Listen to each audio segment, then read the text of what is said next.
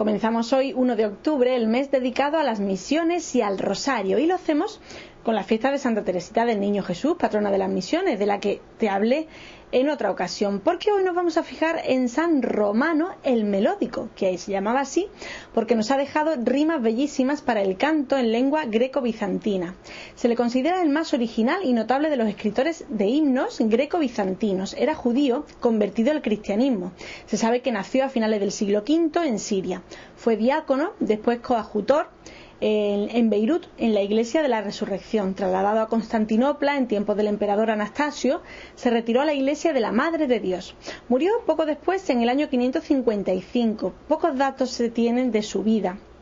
Pero se sabe que San Romano el Melódico está considerado como el poeta litúrgico bizantino más importante, famoso en su tiempo y hoy es conocido pues entre los eruditos solo, ¿no? Entre sus obras se encuentra el himno de la presentación en el templo, el de la negación de Pedro, el de María al pie de la cruz, el de la resurrección, el del juicio final, entre otros muchos. Con su testimonio me despido de ti, hasta mañana, nos vemos en Diócesis TV.